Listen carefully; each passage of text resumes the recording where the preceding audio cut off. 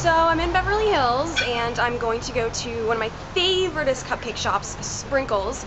Actually making 20 cupcakes because I'm assisting for someone this weekend, huge event, and uh, so we're gonna be getting 20. We're gonna be getting red velvets, gluten-free, all kinds of things. So really excited.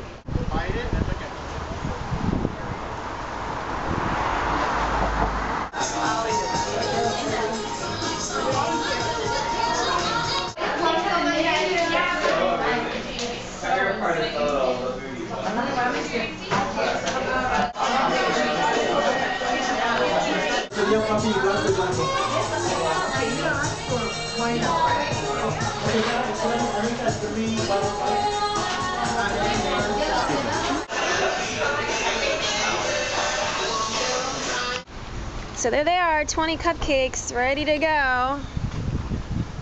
So yeah, if someone actually uh, hijacked my car right now and threw me out, they wouldn't be driving off with, you know, 20 cupcakes, they'd be driving off with $67 worth of cupcakes.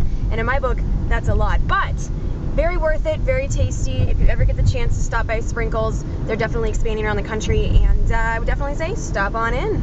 So yeah, and so Sprinkles was in uh, Cupcake Wars. Uh, the, the main lady was like, you know, the main one of the main judges and stuff, and the uh, is was host uh, Justin.